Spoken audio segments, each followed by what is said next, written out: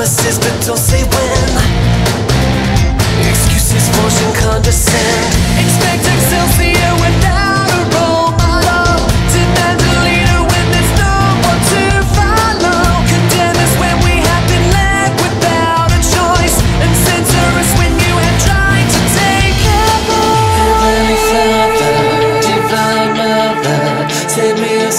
That you don't forsake us. We've learned to live without your guiding hand.